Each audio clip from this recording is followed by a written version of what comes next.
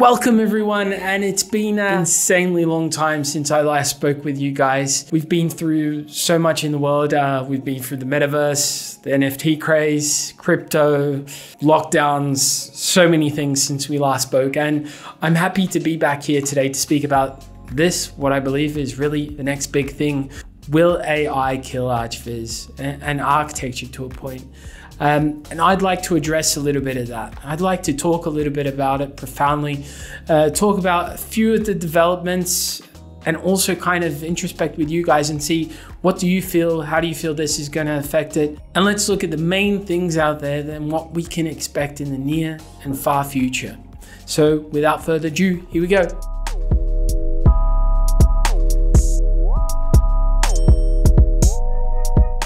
So let's start by talking a little bit about the main player in this, which is Nvidia, right? It's just hit the trillion dollar valuation for a company, which is absolutely insane. It's been behind many of the developments, and I think you guys will remember, like myself, you probably used Canvas. And you've seen just how far that went from the early iterations to right now. It's incredibly insane.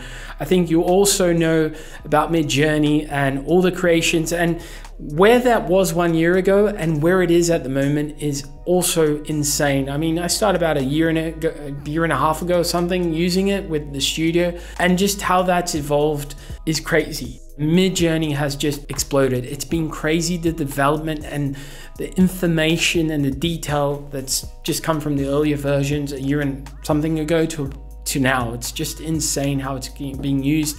That stable diffusion, just to name a few and just how these are already being adapted within our field. You've probably seen as well all the um, stable diffusion videos and how crazy they are. I mean, it's just insane what I've seen, especially with these Greek statues, etc., and them coming to life. Probably seen the Balenciaga videos, which now seem to be all the well. Then finally, they've just passed the craze, but they are immensely funny and they are yeah they, they've done them on star wars wes anderson and so many other takes, Game of Thrones, etc.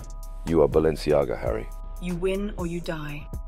It's also worth noting a couple of very prominent architectural studios, and I think most big architectural studios and even visualization companies are now in some sort of way using AI in their research and their development as well. We saw it with Zaha Hadid, I think Patrick Schumacher put it out there that they were using AI to develop a lot of their key concepts to show to clients.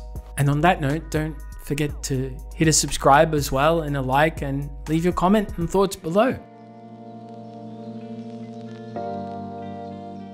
So maybe let's start by speaking about the near future and what I believe will be the immediate impact of AI and ArchViz and, and even architecture to an extent. I think the basic thing is remedial tasks, right? Remedial tasks will just get obliterated. We've seen by Adobe Firefly, we've seen even by generative AI that NVIDIA has released, correcting things in Photoshop will be just as simple as writing a prompt and correcting a person, extending a canvas. This will at some point also impact heavily on the image creation process and just make things like correcting, removing, clone stamping a lot easier, a lot quicker. Now, I do believe you still need a knife for this. I still believe that, you know, the technology isn't quite there. It's great, but I don't believe it's there fully. But again, having a strong skill set and a strong base level will ensure that you're able to use these tools and make the most of them. Near medium term as well, generative AI from NVIDIA, you know, taking a few photos, loading those in and creating a model or even a video from those photos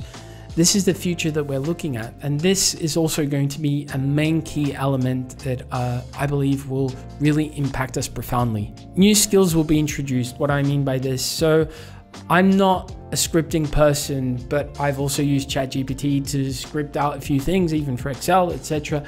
You'll be able to make many new things and you'll be able to enhance and use skills that you're not really proficient in. And I think, you know, that has a deep impact on how you work and the ability that you have to execute something and just how you think overall. At a certain stage, I believe the hype and the FOMO of AI will cool down and this will become part of our everyday life. It will escalate and it will you know, get more and more used. You can see even now, just by the amount of tools that are incorporating AI.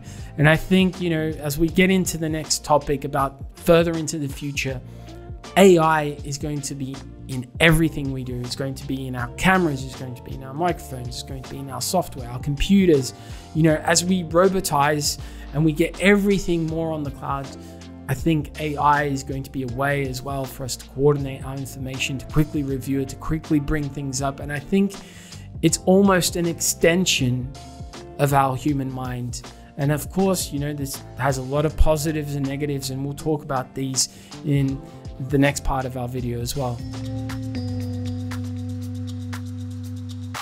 Looking a little further ahead at what I believe are the main things that will impact uh, and uh, everyday life, really, to an extent. All programs at some point, we, we've already seen it with Photoshop, 3D Studio Max, Corona Renderer, Unreal, etc., will at some point connect with AI. I mean, if you see the keynote from NVIDIA, you can already understand a little bit about that. You can see how content will be created for each single person just with a prompt. You can basically render a couple of frames and then render out a whole video. It's it's mind-blowing. It's taking those remedial tasks that will take a lot of skill, talent and time and it will just simplify them. 2 3 years from now they plan on even using AI to create Marvel movies. You know, it's not so far ahead anymore. And this is the crazy thing about AI is just how quick everything is happening and how quick it will happen. And will we be able to keep up? And I think that is also a big question, right? A lot of my colleagues, especially when you're around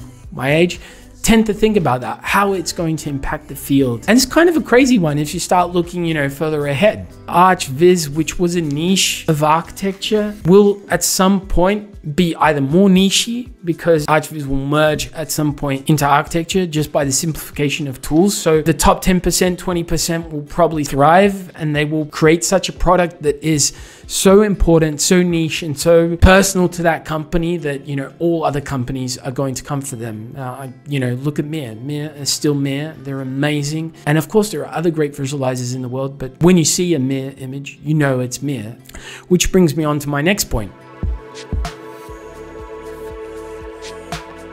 I still believe that education, having an understanding of art history, of composition, is fundamental. I don't think that AI is going to quickly substitute that.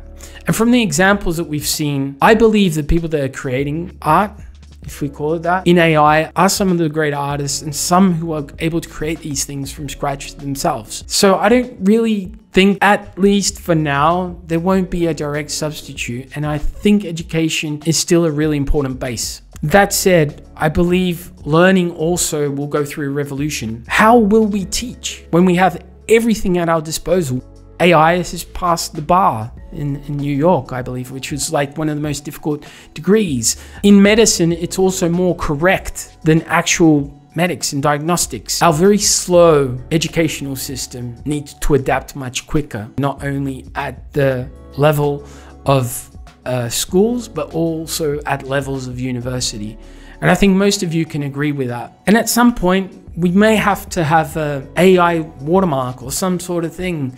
It, it just feels like we will have to be able to distinguish from AI and humanity. What we get doesn't mean it's necessarily the truth or 100% factual, but we don't know where the databases are, where it has scoured the internet to get its information. So I was having this chat with a friend of mine and speaking about Firefly, right? And Firefly's database, which is from Adobe, is using Getty Images and Shutterstock, if I'm not in error. And basically that's all copyrighted material, which has the correct copyright usages. Now think about all the other ones. Are they all scouring the internet on copyright free material? Is that material okay to be used? What will happen to companies if they use that material and suddenly in 10 years there's a huge lawsuit and AI is actually detecting what material was used and who used it. And I remember my good friend Matthew speaking about cutouts and even using images from the internet and referencing this even in our chats if you look back on this channel. And one day there's going to be an AI that discovers where the images are taken from.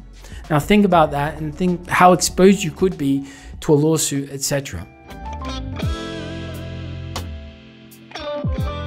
as a final conclusion to this video, and probably I didn't respond much to to the questions of you know how are we going to keep ourselves relevant, But I think this is kind of food for thought, right? I'm not going to experiment every single tool under the sun. And I don't believe that's the way to go. I think you still need to keep the basis, right? Learn to build things into your workflow. Learn, learn to expand from that, learn to be better at that. Of course, the field will completely mutate. I think the field at the moment, even looking at other companies, it's no longer just about making architecture or showing architecture or demonstrating architecture or marketing architecture. It's much more than that. And it's growing more and more. And I think with these tools, we'll be expanding beyond that. And even as our minds try to absorb all these things, I think there is something interesting. There is something great about what's coming. And hopefully it can be used for the greater good and for the greater creative good of everyone as well. So yeah, that's it for today. Um, don't forget to like, subscribe. I hope you guys enjoyed this. Um, I know it's been a long time, it's not exactly a tutorial, but I feel like this video had to be made. We are at a crucial point and I feel this is huge and I want to talk more about it and understand more of the opinions out there. So let us know your thoughts. Do it in post.